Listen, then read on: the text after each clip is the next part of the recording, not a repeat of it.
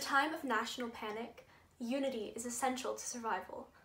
But while we struggle with our personal well being and attempt to get a grip on our futures, immigrants continue to be unjustly kept imprisoned in detention centers.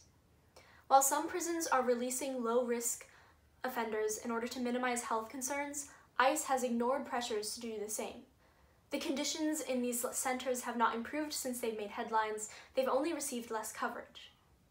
Immigrants are not only living in inhumane conditions, they're living in fear for their lives. There are many misconceptions about who actually resides in these detention facilities. Entering the country illegally is a civil infraction, not a federal misdemeanor. The punishment for a civil infraction is generally a fine, only permitting jail time if one has been found to be in civil contempt. Despite this, many immigrants in detention facilities face conditions that are far worse than those in federal prisons. Many believe these immigrants to be criminals when, in reality, 61.2% of immigrants in detention facilities have never been convicted of a crime. These numbers have stayed above 50% since September 2016. Just 1 in 10, 10.7% of detainees, and less than 6,000 detainees nationwide have had a criminal conviction on record as of July 2019. Even so, the classification of criminal in this case represents crimes that generally do not fit the common stereotypes of criminality, rather referring to minor infractions.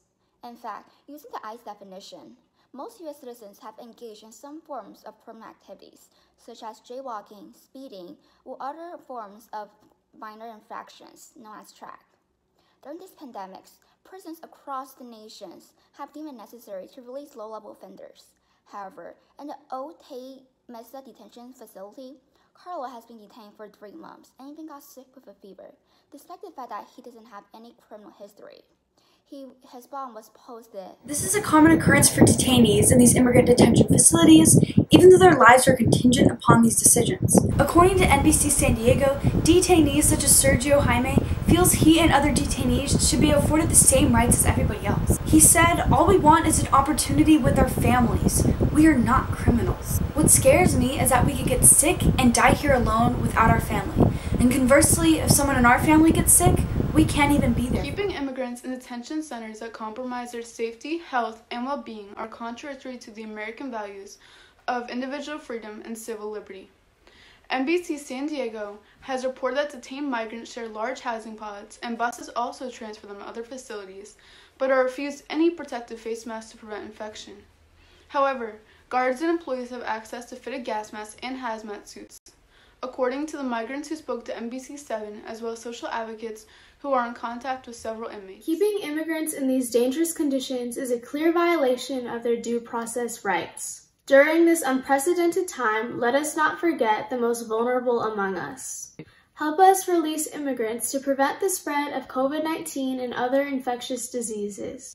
You can learn more about this issue by clicking on the news page on our website, youth4borderaid.org, or through our various social media accounts, which is at youth4borderaid with the number 4. You can donate to help buy bonds to get immigrants out of these dangerous conditions in the Otay Mesa facility by donating on Border Angels GoFundMe, which can be found under the donation page on our website.